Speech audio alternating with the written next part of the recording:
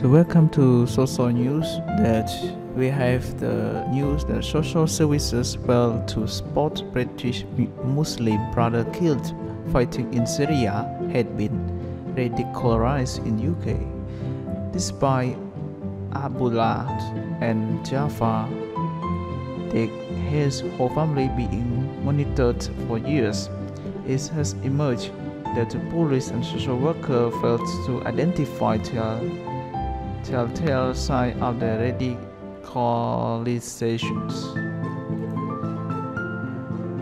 Jafar Diver was just 17 when he boarded a plane for Syria with brother Abdullah.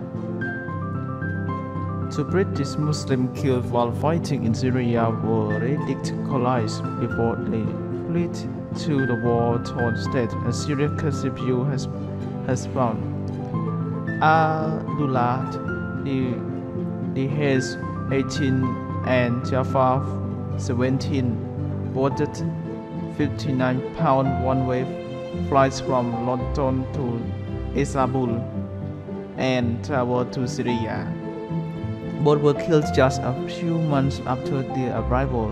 Abdullah by a spanner Spamper while chasing retreating forces in Latakia in April 2014 and Jafar six months later during the close-range fire firefight amid the ruins in Idlib. Social services failed to put emergency measures in place to monitor the teenager despite knowing the brother's other sibling emerged. They had fled to Syria to which hurried months earlier.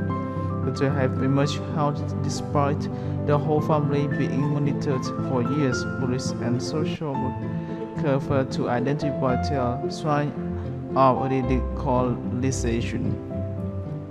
As risk review SCO published by Today has highlighted how the agency failed to spot the boy-ready radicalizations.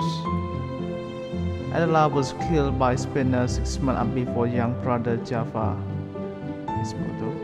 It's, it said it was uh, a recognition the boy were being radicalized and his and light highlight missed opportunities to intervene in the siblings' lives were highlighted in the report following the death in 2014 of Abdullah and Jafar who were referred as W and X.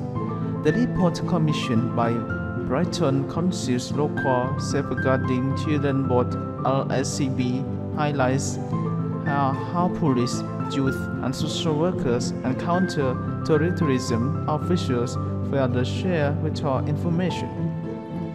Social care agencies also failed to recognize the brothers were being radicalized despite their school in Britain 2013, raising concern that some young people were converting to radical Islam. Jafar had been referred to the safeguarding panel after he made commits rebelling all Americans terrorists. But it was concluded that he was not risk of being down into the terror-related activities and be known to authorities. Brothers were brought up by a pursued father in a strict Muslim family who subjected to harsh punishments.